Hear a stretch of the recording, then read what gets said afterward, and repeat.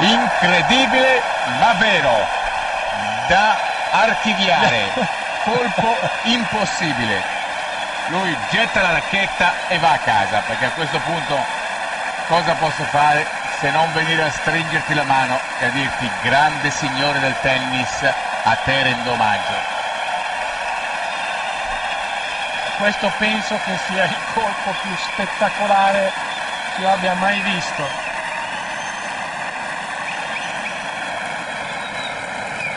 Guardate, E non- non è nemmeno immaginabile. Si lancia la racchetta.